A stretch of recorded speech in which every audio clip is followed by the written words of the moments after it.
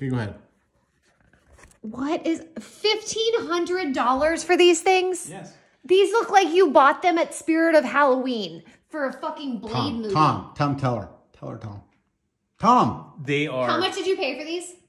a hundred bucks. I paid a hundred, a hundred. You paid a hundred dollars. Tom, what's the price again? Tom, Well, what's the price again? This one with no lenses is three thousand. oh, oh, kidding? oh! Those are clear. Oh. Those are legit. These are silver. They're